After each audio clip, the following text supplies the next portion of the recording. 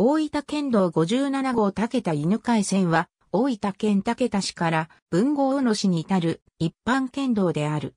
2016年4月1日に国土交通省から順次大分県へ移管され、国道57号から指定外された。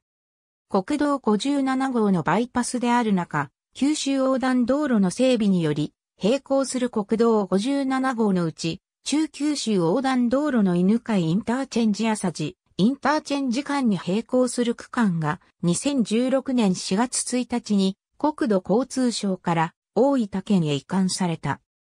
指定外にあたっては地元の道路への愛着に対する配慮として、番号57をそのままに県道に変えたとされているが、偶然にも、大分県の2桁の路線番号は、全番の56までが指定されていたため、同じ番号の国道から引き継ぐ形になるという、全国的に見ても珍しいケースになった。